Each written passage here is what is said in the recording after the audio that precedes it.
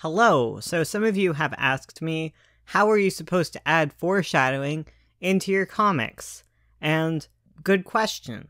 Okay. So here's my number one super top secret secret for adding foreshadowing to your comic. And before we get anywhere into it, you need to know this top secret. So here we go. Here it is.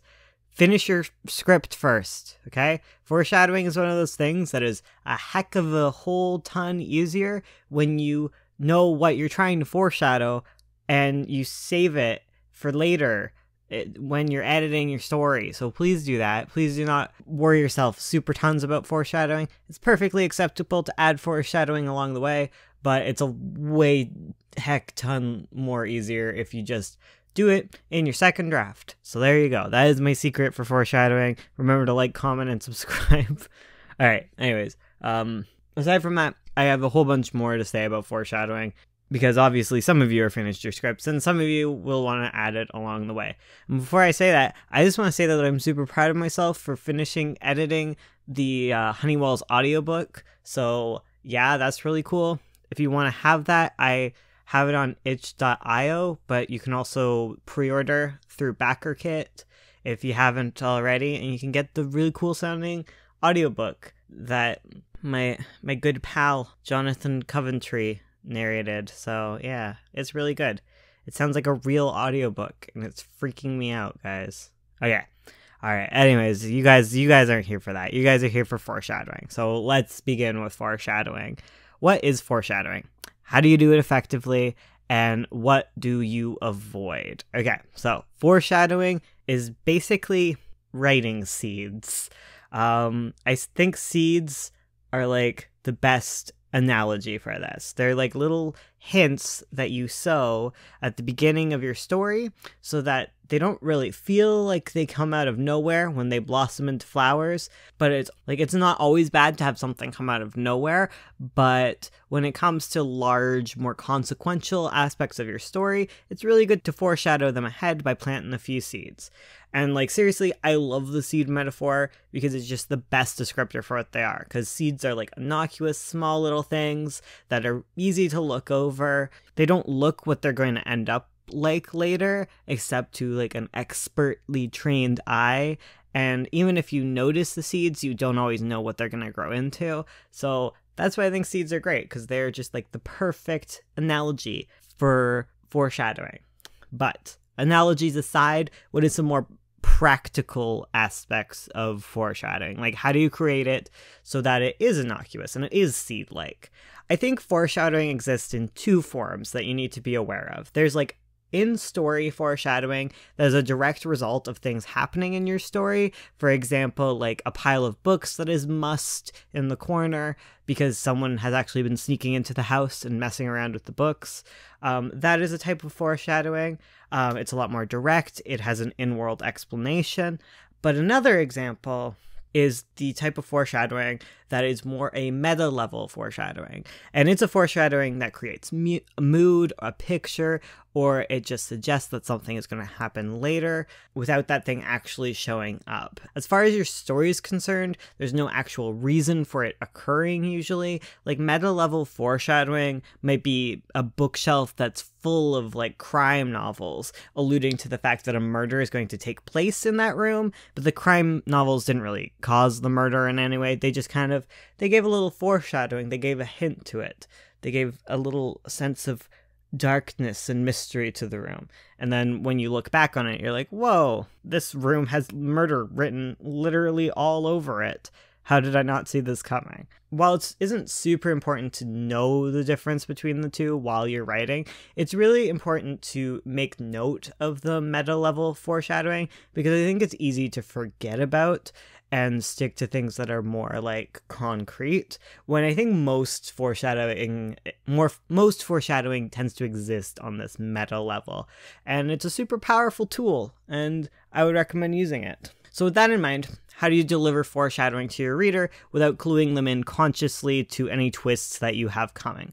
One way is to shape aesthetics and design to invoke future events. Okay, add small items to design that alludes to a character's past or alludes to a secret of something, anything. It's just one of the most powerful tools you have is like working with within designs that you have and allude to other things. Like maybe they carry a locket or something. Just something that creates interest without um, straight up saying it. A lot of the times with foreshadowing, with more direct objects that you know that your reader is going to look at, you want your foreshadowing to be a lot more vague, just kind of create a sense of mysteriousness, a sense of interest. But not actually clue them into what they're looking at. If your foreshadowing is ever on the forefront, under scrutiny, you want it to be very subtle but intriguing, but not like outright stating what it is. When your foreshadowing is more hidden, then you can be a lot more blatant with it, like writing murder on the walls. Um, subtly, of course. At a meta level, uh, your character is going to have something. If like a character is going to have something happen to them, you can add a lot of hints throughout their design, even if it doesn't make sense that they would do this. Like just certain elements that are hidden within their design that end up alluding to something that they don't know is going to happen. Your readers don't know that's going to happen, but it just kind of adds this little through line callback sort of thing. Like, um, all I can think of is murder, guys. That's a clip. Um, like if you're going to have a character lose their head, like you can, um, sort of, uh, create, I don't know, you could just straight up put a line, like a, a nice red ribbon there. Good, good little hint or anything that alludes to that. Um, illusion. I keep saying allude, but illusion is a very powerful tool for foreshadowing.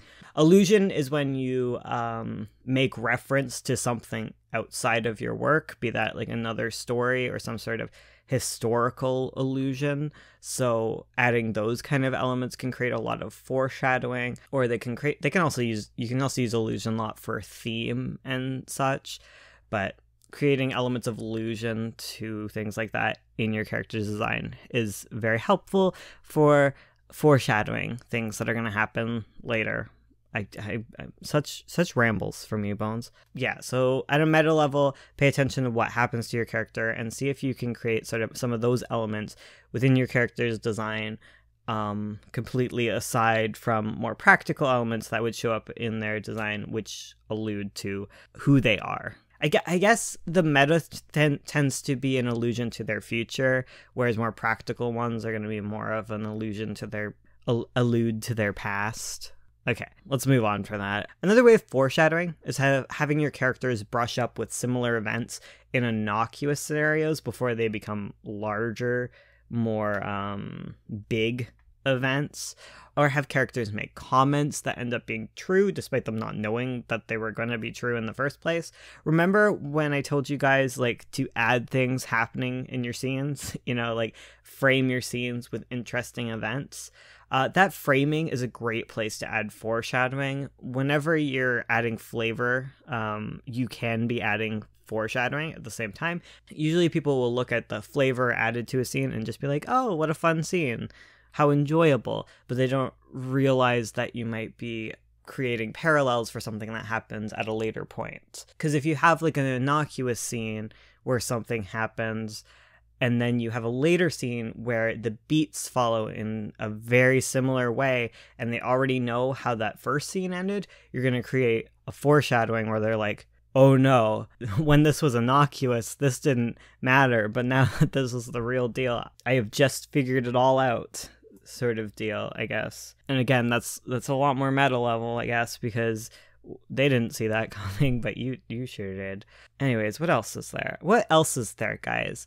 Remember Another great way to add foreshadowing is through humor, because people like to brush off humor because they're like, oh, it's just a joke. And then it turns out to be true. Like all of those jokes, it, it wasn't just jokes, it was a reality all those lol someone could lose their head over here. Why am i obsessed with like head cutting off today? Oh my god what is this? Okay anyways it's like oh be careful you might lose your head lol and then in the third act someone just straight up gets their head off you know? That is foreshadowing. That's how humor can hide things because people don't think much of humor a lot of the times unless all of it turns out to be true and then they sense a pattern. But otherwise usually humor is a great way uh, and I think that's actually uh, one of the most important things to know about foreshadowing. And I think that's where I'm going to leave this today is by bringing up this last concept, which is is that foreshadowing should rarely ever, in fact, it probably never should be the main focus of a, your of your scene, of your character design, of your character design, etc., etc. Um, because the goal is to make it very subtle.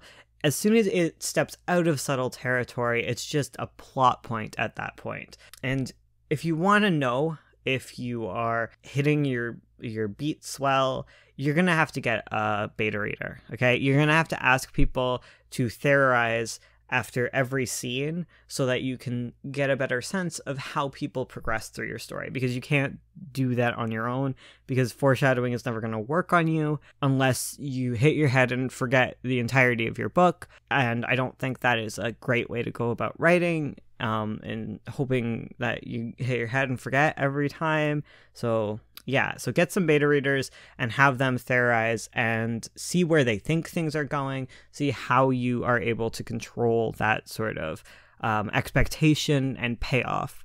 And that's my video on foreshadowing. Thank you for listening. I'll see you guys next time. Um, happy Sunday. Bless. Heck yeah.